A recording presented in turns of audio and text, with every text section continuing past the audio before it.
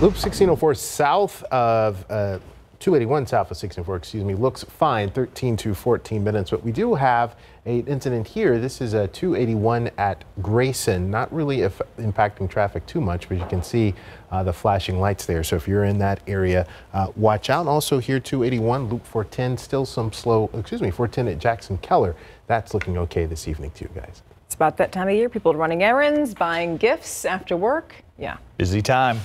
Have a great night. See you on the night beat.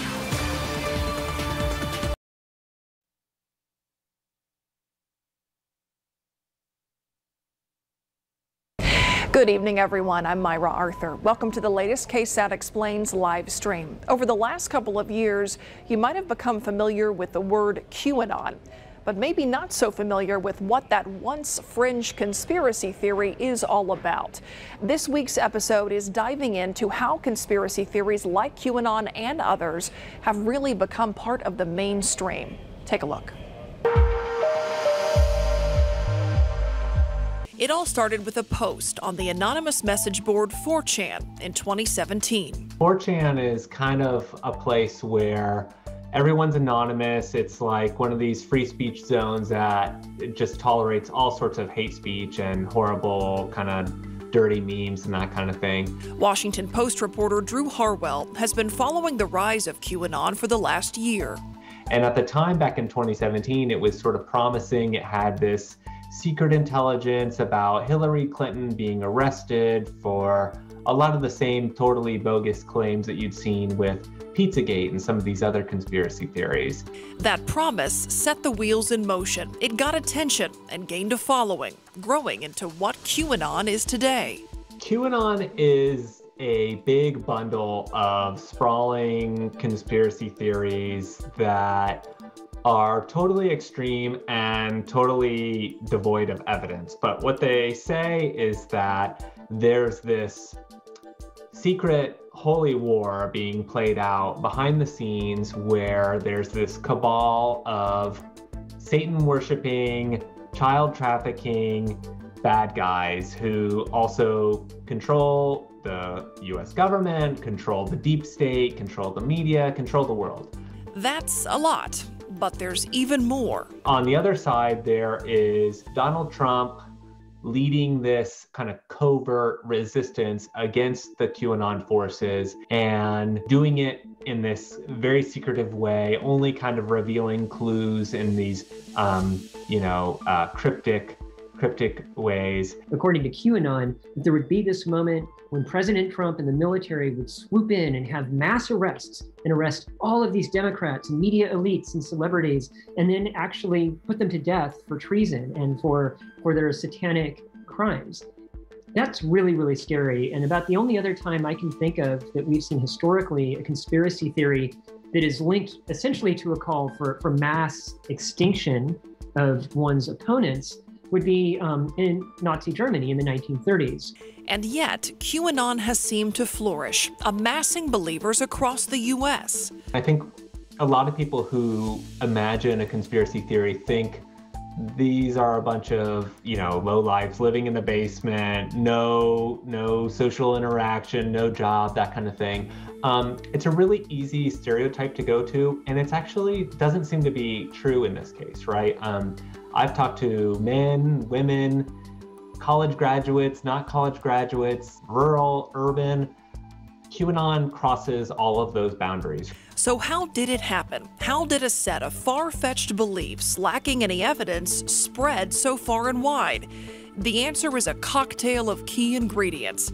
First, social media. The tech companies were very slow to react, right? A lot of this QAnon discussion and organization and recruitment was playing out on Twitter and Facebook and these other big mainstream social media sites that people spend all their time on. We want to believe that everything in our feed is just sort of appearing in real time. So if my mom posts something and my dad posts something and then my my uh, uncle, I'll see those things kind of show up in real time. But these social media platforms actually have decided that they want to show us what we like the most because they want us to stick around. So whether we're watching YouTube videos or, what, or looking at things in Facebook or Instagram, that the platform is figuring out what we're interested in. And it figures it out by what we click on. And so the more you click on something, the more it thinks you're interested in that. And it kind of creates this self reinforcing loop. So I, I, think there are many um, anecdotal cases of people who became radicalized into the QAnon theory by watching one video. Maybe it was something uh, innocuous, like Save the Children, just in general about child sex trafficking. And then because of that, YouTube or, or Facebook, the algorithm decides, oh, well, they're interested in this topic. Let me give them this other thing that's somewhat adjacent. And, and very easily, they, they kind of slipped into this rabbit hole. That's another part of the mix. QAnon latched onto causes that almost anyone can get behind, like opposing child trafficking. And yet, people who started to, to attach that attach themselves to that as, as, a, as an important cause sort of gradually started seeing more and more QAnon material. And so you'll see these protests that advertise themselves as being sort of pro children, anti child trafficking, that are actually kind of QAnon protests in disguise. There's also money to be made in QAnon. People sell books, t shirts, they gain followers on their own social media accounts. Then there was another ingredient. Now, former President Donald Trump, a key figure in QAnon, never really denounced it. He kind of defended it in a way by saying, Oh, I hear it's people who you know, care about America or who don't like child trafficking, which of course, who, who, who does like child trafficking? I know nothing about QAnon. I do know they are very much against uh, pedophilia. January 6th, 2021 comes. A protest in support of President Trump turns into a riot at the nation's capital. Ultimately, Trump leaves office, but QAnon is still here. We saw people go from QAnon sort of pro Trump stuff to voter fraud to now vaccine misinformation, where they're spreading lies about vaccines or masks or, you know, quote unquote medical tyranny.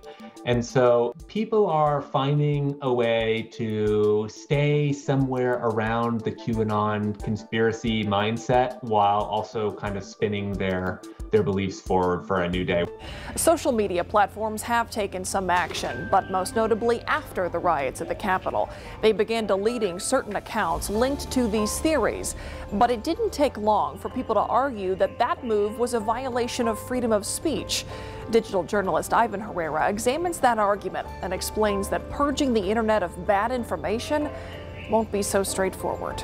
Congress shall make no law abridging freedom of speech. Our First Amendment guarantees us the right to speak freely, but does that right have limits? Freedom of speech does not include the right to incite actions that would harm others, such as shouting fire in a crowded theater and it excludes the right to make or distribute obscene materials, among a few other limitations. The American Bar Association says the First Amendment only limits government actors. That includes federal, state, and local. But private entities, such as social media giants like Facebook and Twitter, don't have to play by the same rules. Most recently, a number of social media platforms banned former President Donald Trump and some of his allies after the insurrection at the US Capitol on January 6th. Fight like hell.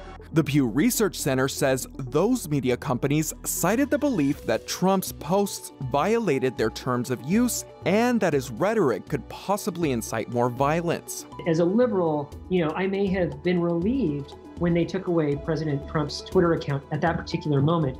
But but Twitter could just as easily have been silencing somebody that I agree with, you know, and, and so I would not I, I really am uncomfortable with that precedent. Republican leaders like Florida Governor Ron DeSantis say these Silicon Valley tech companies are limiting the freedom of speech of conservative Americans. On the one hand, you stop the spread of the information, and that's I guess a good thing if, it, if it's dangerous lies but it also reinforces the narrative for the people who believe it. And it's uh, they say, well, look, we're onto the truth. It shows there's a cabal out there that's trying to silence us because they took away our Twitter accounts. So it makes them martyrs and it kind of intensifies uh, their, their feelings. The Associated Press reports that some Florida lawmakers are now taking action against big tech. Those proposals range from forcing social media platforms to give users a month's notice before their accounts are suspended or disabled to allowing consumers to sue if they feel they've been treated unfairly. While it's uncertain how the state could gain the authority to act against these companies with a global reach, it does open up a national discussion of how internet companies are regulated in our country. It would take an act of Congress, which includes leaders in our House and Senate. And as of January, Democrats control both chambers and the White House. So, where does that leave believers of QAnon? In a blog post dated January 12th, Twitter says it began its strong enforcement action on potentially harmful online behavior by permanently suspending 70,000 accounts. The company says the accounts engaged in sharing harmful QAnon content at scale and were dedicated to the propagation of the conspiracy theory. Following the Capitol riots, Facebook released a statement saying it would take action consistent with its policy banning militarized social movements and the violence inducing conspiracy theory QAnon. The crackdowns from these tech companies led QAnon followers to fringe websites where they could continue to share more misinformation without being banned. So, is QAnon something bigger private media companies will be able to continue to censor? NPR reports QAnon podcasts are available on Apple and Google's platforms, and some political commentators, like Fox's Tucker Carlson, as well as some members of Congress, have defended the movement. For now, it appears the sharing of information about this conspiracy theory will continue. How long that lasts remains to be seen. So the problem won't go away easily, but there are things you can do to help chip away at this issue. It's going to take a lot of work, but we talked to a few experts in this field who shared some strategies. Bad information is nothing new. As a fact checking expert, Tom Trewinnard knows this. He's one of the founders of Fathm, a company that KSAT partnered with last year to create the Trust Index. But Trewinnard has noticed a growing trend in false claims being made it's becoming more widespread. What we've started to see now, which maybe um, 10 years ago when I started working on this kind of stuff didn't happen, is really around any um, big news story, there's going to be, be a certain amount of um, misinformation. So, if you're seeing a lot of headlines about one topic or news event, it's only a matter of time before that information is taken and twisted into disinformation. And it's not easy to pinpoint who's to blame. We're all creators and consumers of media. So we're all responsible for the quality of the ecosystem. And we're all going to be responsible for cleaning it up. You have to uh, sort of feel the sense of responsibility that the information that you share um, could lead somebody to make um, a decision that could have really big consequences for their life. That requires all of us to practice media literacy, being able to assess which news clips and stories we consume are trustworthy. We haven't had a, a good opportunity to practice skills of logic and evidence and really kind of analyzing where who are these sources and how do they fit together. Because now it's easier than ever for unreliable news stories to make their way into our social media feeds. Previously you know you kind of had to search this stuff out so if you wanted to find some weird stuff, you had to go on weird websites. You had to go on somethingawful.com or you had to go into kind of like the bowels of 4chan on Chan boards. But now this stuff that used to be on the periphery of the internet has made its way into the largest social sites. Renee Hobbs is the director of the Media Education Lab at the University of Rhode Island. She says it's never been more important to practice media literacy skills and to understand how social media algorithms have created echo chambers. I don't know if you've ever been to somebody's house and you go that you say, "Okay, let's watch Netflix." And you go and you sit down to watch Netflix and you notice like their Netflix looks nothing like yours, right? It's a completely different set of choices that are presented. That's one example of the echo chamber in practice, but it's also true on YouTube, Facebook, and Amazon, and so many others. Understanding that and being sensitive to that can really help us start to realize how our own choices are narrowing or shaping, creating those filter bubbles um, that we talk about. So, what can you do to get out of the bubble? One thing that I do is I try not to consume news through a social media platform. Go directly to a news site instead, like KSAT.com, for instance.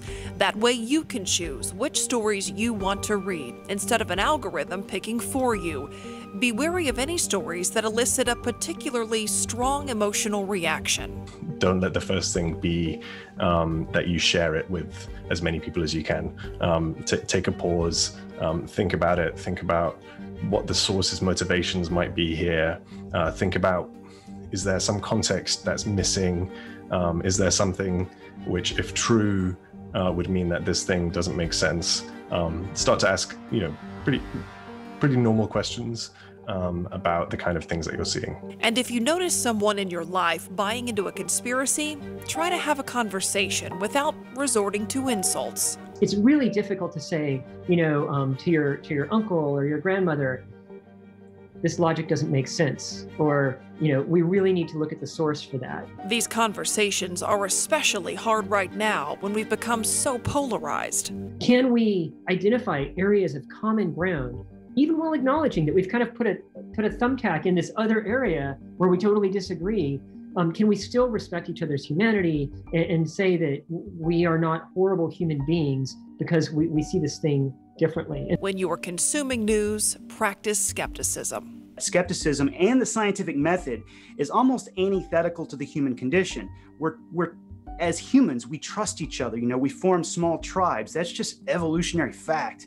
And we have to kind of fight against that. Stay vigilant and be on the lookout for misinformation, but no, you don't have to mistrust everything. There's a lot of good information online too. There are reliable, trusted news sources out there. You have to slow down how you're interacting online and um, uh, approach um, the information that you see on social networks with a, uh, a slightly more cautious mindset. And it's important not to get discouraged and avoid news altogether. It's actually kind of dangerous to um, choose to rely on your orbit of friends for your news about the world because that's what happens right you might not be watching the news but the people around you are getting it from somewhere and then they're telling you you can check out this full episode anytime on demand on our website at ksat.com slash explains. That's where you can also view any episode we've done in our five seasons so far. And we have another season coming up in 2022. So let us know what you want us to cover. ksat.com slash explains. That's where you can let us know if you've got questions about something that's been making headlines lately or just something you've seen around town. We'll see you back here next week for our next live stream. Have a good evening.